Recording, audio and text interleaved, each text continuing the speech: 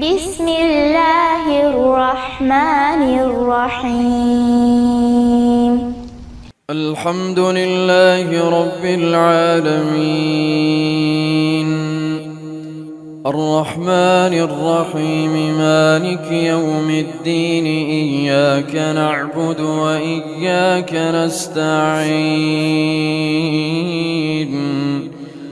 اهدنا الصراط المستقيم صراط الذين أنعمت عليهم غير المغضوب عليهم ولا الضالين.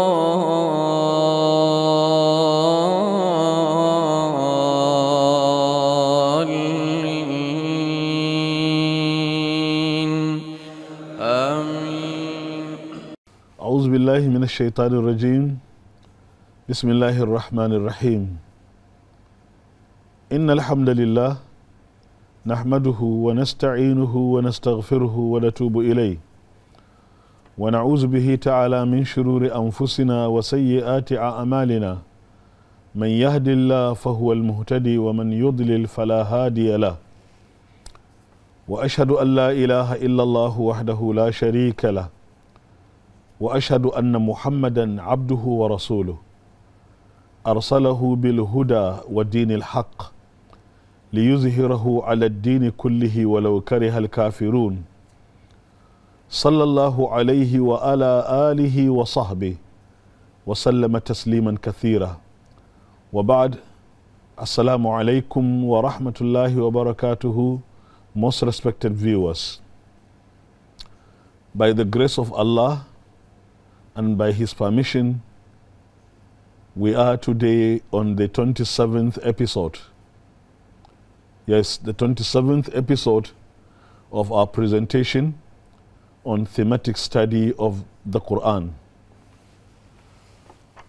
Today, we will be addressing a theme that is very important. And this theme is the Quran and science.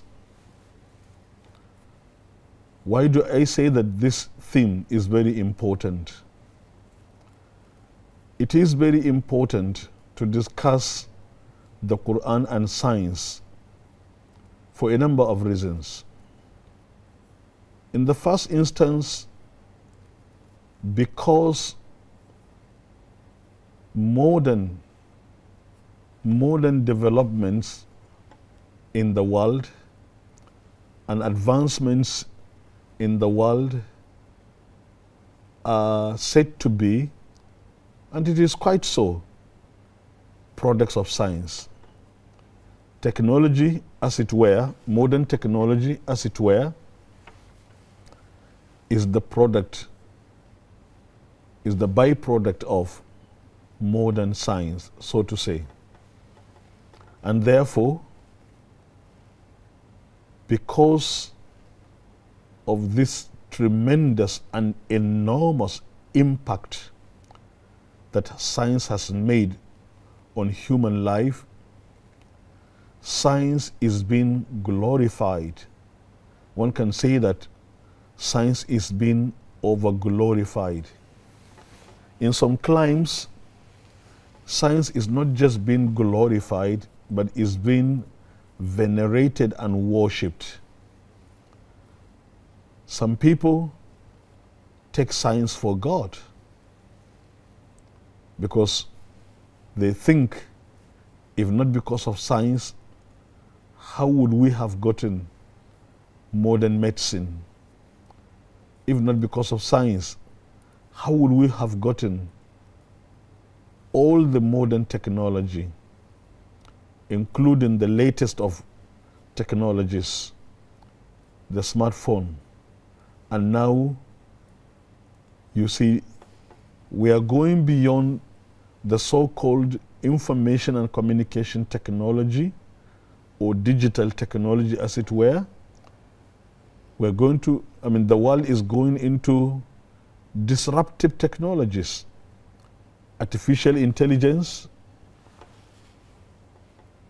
blockchain technology, robotics, and whatnot. So science is so venerated and so glorified. And uh, it is because of this over glorification of science that some people think that after all, the world doesn't have a creator. Of course, the subject matter of creation is a subject matter that we took several weeks to address. Indeed, indeed, it is because of this over glorification of God, of science, where science is being even, you know, taken for a deity that is worshipped, is taken for God. Like I earlier said, scientism, the worship of science. Now, it is because of this that atheism, in a way, is spreading like bushfire or wildfire in the world, especially among the young, the young ones. This is the reason why it is important to discuss the Quran and science. This far, my viewers would accept that this particular theme is a very important one. Again, because of another reason, it is still important to discuss the Quran and science. What is that other reason? The other reason is the erroneous belief by some people that religion cannot go together with science. That religion is something else and science is another thing else. And therefore, uh, you cannot talk about science in relation to religion. Now, it is for this reason also that it is important to discuss Quran and science. Or let me say, like Bertrand Russell, the popular, famous British philosopher, said in one of his books, Religion and Science, he divided, you know, uh, people or views regarding the relationship between religion and science. He divided, you know, the views into about four different views. One of the views is that science and religion are parallel. Science and religion are parallel. That is to say that they will not meet. There is no meeting point between science and religion. Religion is, this, is addressing a different subject matter and science is addressing different subject matter. While religion is about spiritual realms, you know, spiritual world, talking about spiritual world and other rituals, science is addressing reality. That is what they say. Science is addressing, the subject matter of science is about reality, facts that can be proven. So, for this reason, there is no way religion and science could meet. So, they are parallel. This is one view. But then this is born out of the narrow conception of religion. And there are historical explanations to that.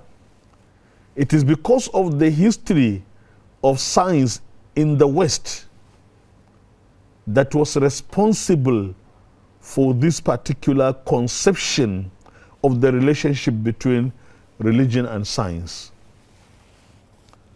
Another view is that although it may be the, the, the, second side of the, it may be another side of the same coin together with the first view that has just been explained, that religion and science are parallel. But the second view is that religion are science and science are in conflict. Are in conflict. Now, these two views are all rooted in the history of, science, of modern science, but particularly in the West. In the West, especially in this regard, I mean in Europe, the experience of scientists in Europe was a very bad one. Scientists, as it were, and as is known, whoever read the history of science in the West, scientists were persecuted. Scientists were massacred and killed in some situations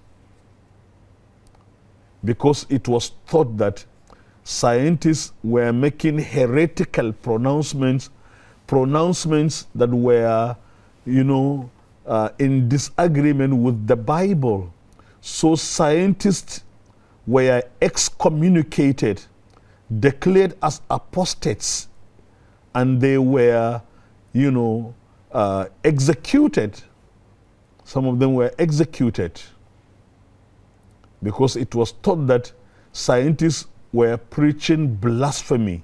They were propagating blasphemy against God. And therefore, science, modern science, which is a product of, you know, Western Europe. I'm saying modern science because modernity is an epoch in history. There is no time to discuss all these matters. And so, therefore, when we say modern science, we are implying that there was science before modernity. There was science before modernity. And that would be proven when we talk about the relationship, the Quran and science. So you, could, you can see it is for this reason that it was believed that science and religion would never agree. In fact, they are in conflict. There is another perspective. That is the third perspective. And this third perspective is the perspective that believes that religion and science are in dialogue, that there, there is the possibility of dialogue between religion and science. And by dialogue, it would mean that we need to, you know, identify where there is agreement between science and religion. Now, by talking about dialogue, it means that this particular view or this particular perspective seems to believe or it implies that it believes that there can be a meeting point between science and religion. Or, in an, put in another way, this perspective believes that, you see, there are meeting and parting points. There are meeting and parting points between religion and science. So there is need for dialogue between religion and science where there are arguments, the meeting points need to be identified and the parting points where the two are at odds should also be identified.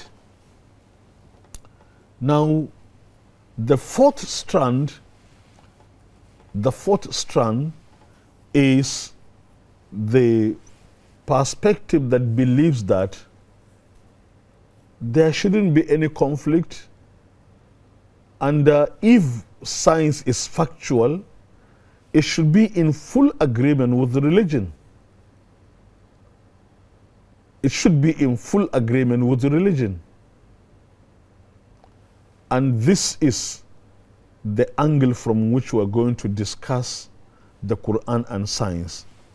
That is, that if at all science, a fact is proven and is established to be true, then there is no way it will disagree with the Quran. So this brings us, I mean, presents to us a background upon which we will discuss the Quran and science. However, I need to explain further that it was because of this historical experience of the conflict between scientists and the church in the West. There was a conflict between science and Christianity, so to say, the religion. Even when the Western man was talking about religion, he was specifically referring to Christianity. So the conflict between scientists and the church, church as an institution, as a religious institution on one hand, and the scientist. This is what forced the scientist to believe that, I mean, the scientists lumped religion together with superstition and myth. So, scientists, out of resistance and overreaction of the scientists to the, to the persecutions of the church and to the massacre they, they went through by the church, meted out on them by the church. That was why they lump religion together with myth and with superstition. So, on this note, the scientists believe that religion just like superstition, just like myth, is not necessarily based on knowledge. Religion is not just based on knowledge, but, but is anti knowledge. And therefore, as a reaction, the scientists rejected religion and all that it preaches. And science was therefore based on, purely and squarely based on the realist philosophy, the realist materialist philosophy that believes that matter is the only real existence. And what is matter for that, for, I mean, for that matter, so to say? And matter in the realist philosophy is anything whose existence can be established by the five senses. And if it goes beyond if it goes beyond the prism of the five senses, that falls within the world of myth and not reality. And therefore, religion and what it preaches falls with, I mean, outside the realm of reality. And therefore, religion is a myth. This is what explains the reason why science, from that particular time, science proceeded on a godless plane on a godless plane, rejecting religion. And since religion is preaching God, science therefore rejected God. Therefore, God, as far as modern science is concerned, God is a myth, is not a reality. I mean, so angels are myth, they are not reality. Jinns are myth, they are not reality. Anything that goes beyond the, the, the you know, that cannot be performed by the five senses is not real, is a myth. Now, this explanation, as we uh, attempt to discuss the Quran and science, is necessary so that we will, uh, it will become clear that you see, after all, there are certain historical explanations that are responsible for the godlessness of science. That is the fact that science doesn't believe in religion. And it is the reason that explains, you know, certain other theories in science that are also rooted in godlessness. Like when you take the theory, I mean, the, the, the Darwin's theory of evolution, like Mendelism and other theories, the theory of natural selection and other things. All these are godless theories, theories that do not believe in God. there are reasons behind that. That is to say that if not because of this historical experience, science would have been a believer in God, as we will establish. There were Muslim scientists. Their science was in agreement. I mean, were, were, be- be- believe in God. But after the historical experience that took place in Europe, science proceeded on a godless plane. And this is why some people think that religion and science are parallel, or others believe that religion and science are in conflict.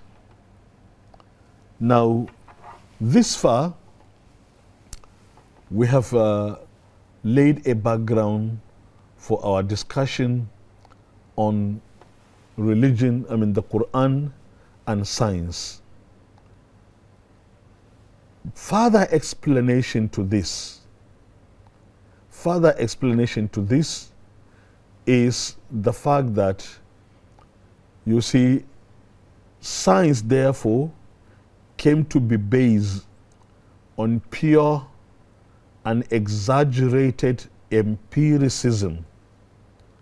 Empiricism That is, I mean, further, further, you know, epitomized by logical positivism, where explanations of nature and explanations of reality are limited only to explanations of the relationship between cause and effect cause and effect within the realm of reality within the realm of this material world. What is it what that causes this and what is it that uh, what is the effect and so on and so forth. That is everything situated within the purview of controllables and observables.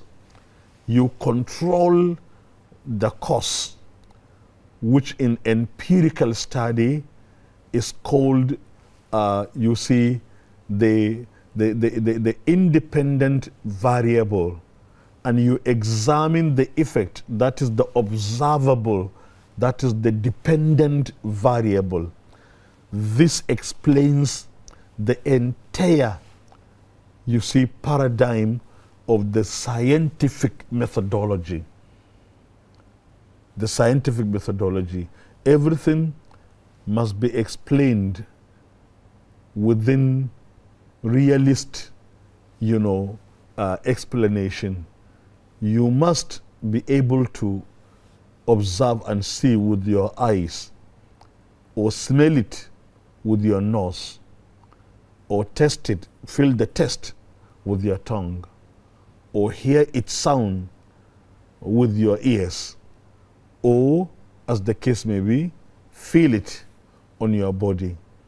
If alone if at all you can't not establish anything with any of these five senses then that is a myth is not a reality scientific methodology is rooted in on, in this paradigm is based on this paradigm and uh, we will come to discuss all these matters as we come to you know try to come up with explanations about the relationship between the Quran and science. But at this point, we'll have to put a stop.